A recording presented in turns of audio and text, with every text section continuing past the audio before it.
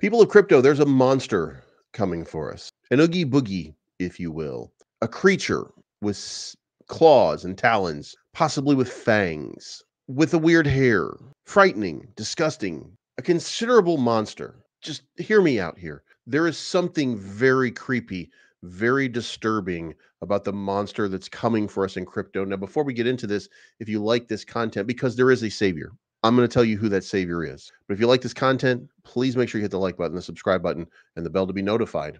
And we can keep covering this kind of stuff all of the time. But that monster has a name, and that monster's name is Elizabeth Pocahontas Warren.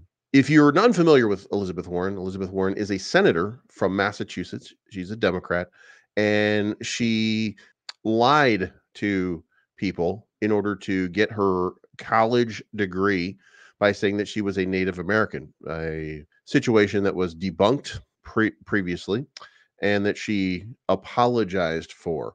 In 2016, during the course of the primaries, she refused to stop accepting money from special interest groups uh, like her uh, opponent, Bernie Sanders, choosing instead to take money from those special interests because, of course, of course, as of today, uh, Elizabeth Pocahontas Warren has a um, net worth of $87 million based on an income of $280,000 as a senator. And she's been a senator for about eight years. How is that even possible? You might be asking yourself. I don't know the answer to that other than corruption is absolute.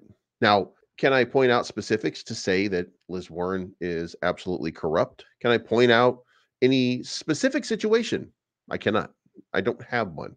All I can do is hyperbole. But that brings me to a hero that we need. And that hero, that's John Deaton. John Deaton is a cryptocurrency advocate and a crypto attorney. Now, an article was just released on Politico, and uh, it says that John Deaton, a Detroit native, launched his Senate campaign on Tuesday to continue my life's mission to shake things up for the people who need it the most. He said in a video announcing his bid. I encourage you to go check out that video. Elizabeth Warren, well, she promised to be a champion for those in need. Instead, she gives lectures and plays politics and gets nothing done for Massachusetts. Just ask for a list of accomplishments. Just ask for a list of Elizabeth Warren specific accomplishments. If you're a cryptocurrency advocate like I am, then go ask yourself is cryptocurrency what's funding Hamas? No, it's the US dollar. Is cryptocurrency what's funding the drug cartels in Mexico and at our southern border or in South America? No, it's the US dollar. But Elizabeth Warren is creating a common foil in cryptocurrency in order to get laws and regulations passed that benefit and support her constituents. Senator Warren's record of fighting for key priorities for Massachusetts families has paid huge dividends, she said, it has resulted in critical federal support for infrastructure and broadband, basic research, a cleaner environment, and dozens of projects to support workers, families, and communities in the Commonwealth. Let me let me summarize this one more time here so that you guys are not baffled by it. The specific things that she did is a very broad federal support for infrastructure and broadband. Uh, if it's federal infrastructure and broadband, accounted for all 50 states. Do you see? Uh, basic research, a cleaner environment, and dozens of projects to support workers, families, and communities in the Commonwealth. Guys, that's nothing. That's nothing. In eight years, Elizabeth Warren has accomplished nothing.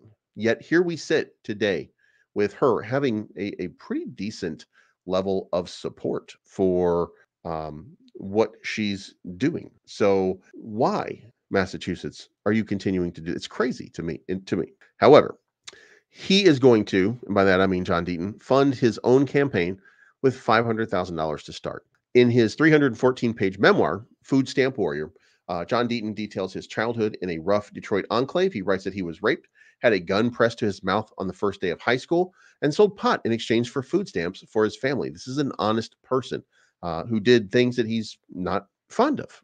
So um, he is asking for forgiveness and has wanted to have forgiveness. And what he did is he stuck all of his uh, ghosts, if you will. He, he he took all of his ghosts and he bears them out for you. Go read his book. I encourage you to read his book. Um, he also may have shot someone, and to this day he writes he doesn't know if he did. In Deaton's telling, his close friend was killed in a drug related drive by shooting. As he was dying, Deaton, then 17, took his friend's gun and opened fire. I kept squeezing the trigger as bullets shot through the car and blasted the back window into shards. I saw a person in the back slump down. I'm still not sure if it's because I hit him or if he ducked. Uh, Deaton writes that years later, I couldn't stop asking myself, did he kill my friend? Did he get hit with a bullet?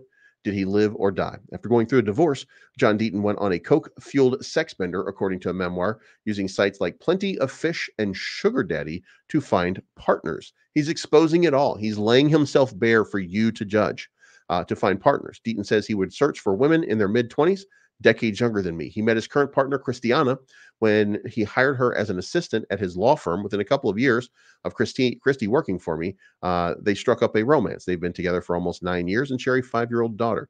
After being prescribed opioids following a back surgery, Deaton says he periodically battled dependency on pain pills. Part of what helped Deaton pull, pull himself out of his self described midlife crisis was discovering crypto not discover crypto, but discovering crypto, and the online community of digital asset enthusiasts that come with it. Deaton, who has invested in Bitcoin, Ethereum, and XRP, gained notoriety in the crypto world when he battled the SEC's effort to classify XRP as a security as part of a lawsuit against Ripple Labs. Now, guys, I would encourage you to read everything that you can about John Deaton for in the next coming days, weeks, and months. You're going to be hearing a lot about him, but he's laid himself bare for you to judge, not for uh, Elizabeth Warren to judge. And what did Elizabeth Warren do when she was presented with this information? Well, Elizabeth Warren, who doesn't want you to use a private plane because of the pollution, is seen right here getting off of her private plane that causes the pollution. Only one of us can be the polluter, and it's got to be her because she's doing the work. Wink, wink. And also, uh, it occurs John Deaton, at this point, has never publicly told anybody that he uh, backs Donald Trump or Make America Great Again movement or anything like that. But apparently, the MAGA Republican machine couldn't find a single Republican in Massachusetts to run against me. So they brought in someone from Rhode Island who will have the backing of the GOP and special interest groups. That is a carefully worded way of her saying MAGA Republican without saying that he is and this is shady. This is seedy. This is this is this is disgusting.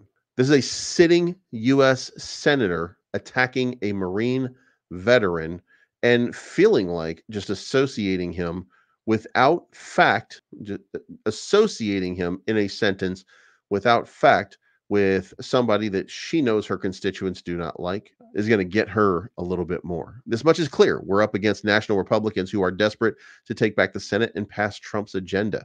Well, what is Trump's agenda? What is it? What is it that's hurting you? It's nothing. You don't see anything. What you see is lies and deception from Elizabeth Warren because that's who she is. It's a testament of her character.